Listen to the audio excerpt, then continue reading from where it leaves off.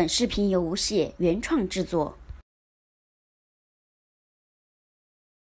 坐过老式绿皮火车的朋友大概都知道，老式的火车在粪便处理设施上一直不是很完善，在火车上上厕所经常能够看到底下的铁轨，这也就导致了有绿皮火车运行的铁轨两边植物都要长得茂盛些。直到后面设备慢慢先进，才没有将粪便直接的抛到铁轨上。那么，同样作为交通工具的飞机，因为是飞在天上的，民航还不发达的那几年，是不是也像绿皮火车那样直接将粪便从空中抛洒而下呢？的确，在早先飞机刚刚普及的时候，因为设备还不完善，加上为了减轻飞机的起飞重量，那个时候的飞机是没有专门安装收集处理粪便的装置的，所以那个时候的粪便从天上掉下来的情况也是时有发生的。就连走进科学的某一期中，都播出了村民将天上掉下来的蓝冰当成包治百病的无根之水捡回家了。其实这里的蓝冰就是经过简单处理后凝结成冰的小便。当然了，这样的场景说起来的确有点恶心。近年来，世界各国的航空技术都不断发展，每天至少有数十万架飞机从人们头顶的高空呼啸而过，就算每个人大便一次，那个量也是。有点吓人的，所以现在的飞机基本上都配备了专门的收便装置。现在的飞机厕所基本上都是真空马桶，强大的吸力可以将粪便吸到专门的处理系统中。等到飞机一次航行的终止，自然有人专门处理这些人粪尿。所以坐飞机的人不必操心